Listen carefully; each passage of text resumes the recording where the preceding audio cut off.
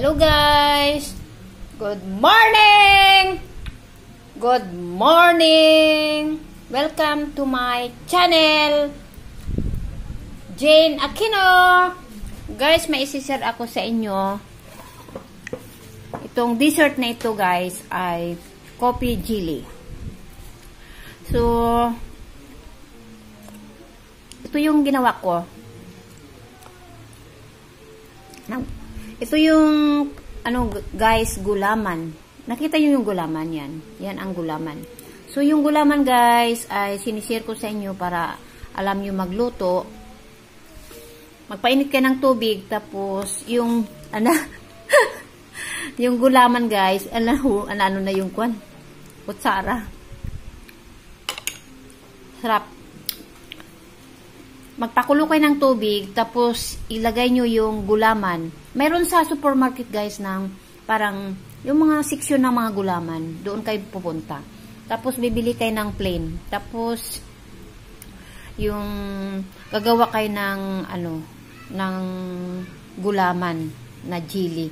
Ito guys ay uh, coffee jelly. Ang bilhin nyo na gulaman doon sa sa supermarket guys ay yung plain guys.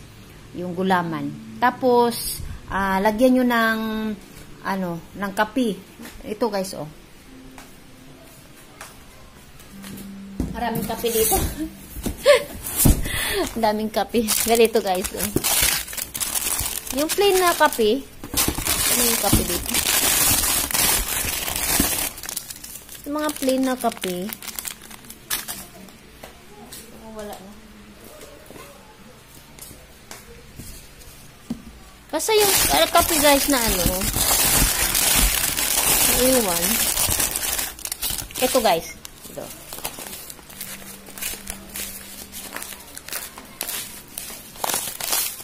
Alam nyo nung, yung mga kape na ganito, yung ano, sa ganyan no guys, bilhan nyo sa palengke, yun ang ihalo nyo sa ano, sa gulaman pag nagluluto na kayo. Pag nagpakulo magpakulo muna kayo ng tubig tapos uh, ilagay nyo yung gulaman na plain tapos lagyan nyo ng ng kape. Ayan, kape. Para magiging coffee jelly guys. Tapos pag na ano nyo na, kumulo na guys, um, halu-haluin nyo tapos lagyan nyo ng asukal, ganun. Tapos, pag nagawa nyo na yon ilagay nyo dito sa bowl na ito at ipalamig sa rep. Or ilagay nyo lang sa tabi niya lang hanggang tumigas yung ano, yung gulaman. Itong gulaman guys na yan.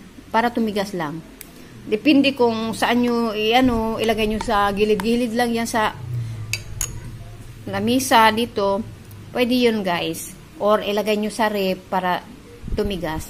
Bago nyo hiwa-hiwain ito mahiwa-hiwa na itong gulaman guys. Tapos lagyan nyo ng ito yung ilagay natin. Yung kompleto na ito guys. Yan. Yung sweetening tank and creamer yan. Kompleto na yan. Cream densada guys. Yan. Yan. Yan ang ilalagay nyo sa coffee jelly. Yan ay bilhin nyo sa supermarket. Kasi dalawa yung nilagay namin para uh, medyo okay yung lasa guys. Yan. Marami sa palengke to. Sa palengke or sa supermarket, ganun, grocery, yan, mabibili nyo yan. Para makagawa na kayo ng coffee chili. Yan. Masarap ito guys para sa kung kayo ay merinda o ngayon kung magbenta kayo, ibenta nyo, pwede.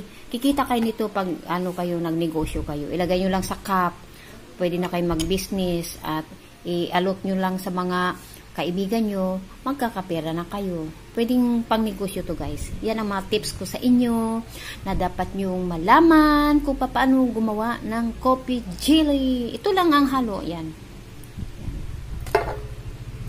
Simple lang guys ang paggagawa. Ngayon, nandito na ako guys. Tinitikman ko na sa aking baso. Tikman natin. Sa napaksarap. Yan. Creamy talaga siya.